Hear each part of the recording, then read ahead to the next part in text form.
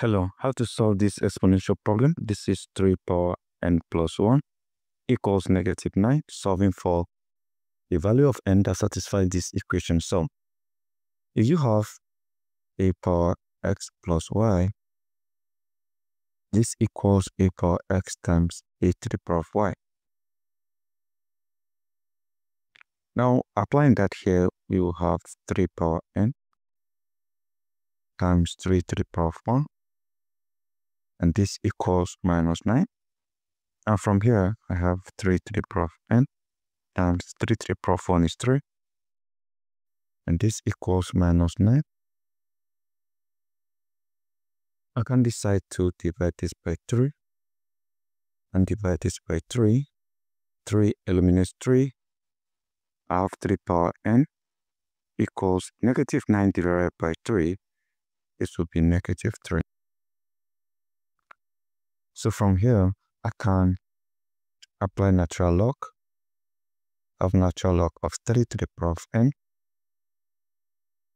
equals natural log of negative 3. And from here,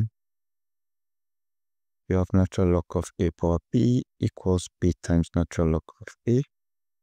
So n times natural log of 3 equals natural log of this negative 3 I can express it as negative 1 times 3. So from here, if you also have natural log of a times b, this equals natural log of a plus natural log of b. So applying that here, I have n times natural log of 3 equals natural log of negative 1 plus natural log of 3. So from here, I can express negative 1 as square root of, or let me make use of this. Square root of negative 1 equals i. So if you take the squares, this cancels this, that means negative 1 equals i power right? So if negative 1 equals i power 2, and there's negative 1 here, so we are going to replace this with i power 2.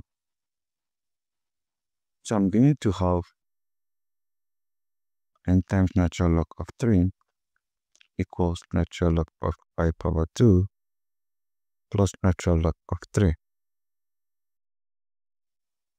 And from here, if you have natural log of a power p is equals b times natural log of a. So the 2 here will come behind the natural log. I'll simply have n times natural log of 3 equals 2 times natural log of i plus natural log of 3. Now I can solve for n by isolating this n.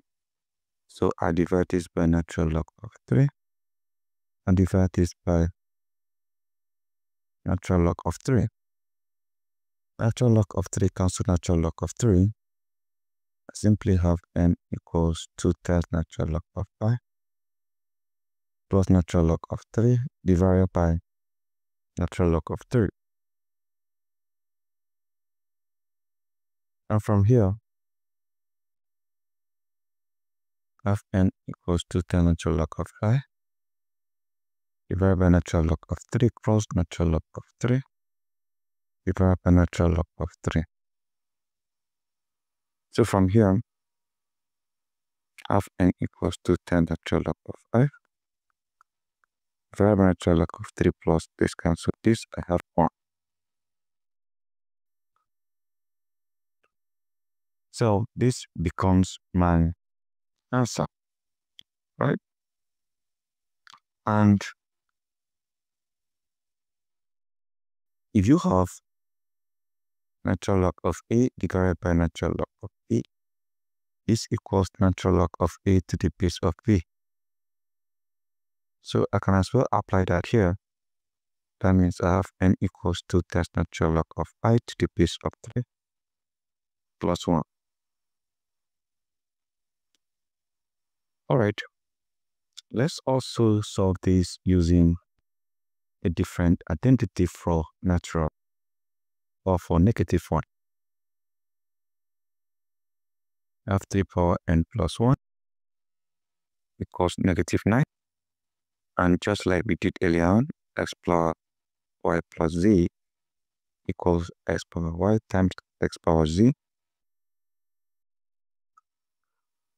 So from here, f to the power n times the power 1 equals negative 9. We divide this by 3. We divide this by 3. f to the power n equals negative 3. Then, for this, I can express this as product of negative 1 and 3. f to the power n equals negative 1 times 3, which is negative 3. Applied natural log. So we have natural log of A to B equals beta natural log of A and also natural log of A times B equals natural log of A plus natural log of B. The first identity, we apply it here. The second, we apply it here. So this will give us n times natural log of 3 equals natural log of negative 1 plus natural log of 3. From here, you have e power i times pi plus 1 equals 0, and e power i times pi equals negative 1. So, negative 1 here is e power i times pi. That n times natural log of 3 equals natural log of e power i times pi plus natural log of 3. From here, I've entered natural log of 3 equals, this comes behind this, we have i times pi times natural log of p plus natural log of 3. So from here, this cancel this. I simply have n times natural log of 3 equals i times pi plus natural log of 3. Can solve for n dividing this by natural log of 3, dividing this by natural log of 3. This cancel this, so we simply have n equals i times pi plus natural log of 3 divided by natural log of 3. So right now I have n equals i times pi divided by natural log of 3 plus natural log of 3 divided by natural log of 3. This cancel this and I have n equals i times pi divided by natural log of 3 plus 1. So if you compare this to the first solution, which is